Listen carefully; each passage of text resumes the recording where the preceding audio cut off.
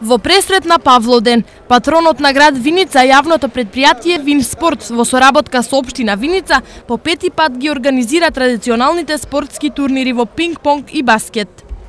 Турнирот во пинг-понг ќе се одигра во сабота со почеток во 10 часот, а турнирот во баскет е закажан за недела во истиот термин.